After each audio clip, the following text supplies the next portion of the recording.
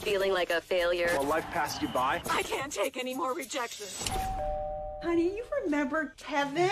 Wow, Kit, you look just the same.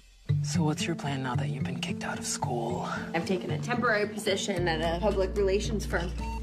Did you always know this is what you wanted to do? Or did you want to do another thing first? Like, did I dream of figure skating, but my parents wouldn't pay for the lessons? You don't want to be a temp forever, do you? Kit, got a letter for you. Get ready. Get ready for what?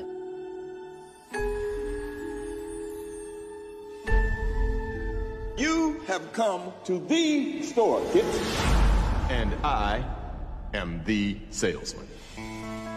Behold, we sell what you need. Unicorns? That was the only thing I ever wanted. If I have one brought here, I have to know that you're for real.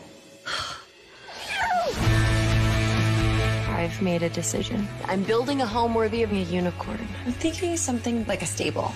I don't think a pony wants to live in your basement. That's a good point. Do you think this is some kind of joke? Should we just get you a puppy? I know that I'm just a disappointment. You're always like, why don't you have a boyfriend? Or why aren't you just more like Kevin? Oh, someone call me? No! I don't know how to be a grown up. My parents think that I'm insane. Honey, what is really going on? This is crazy.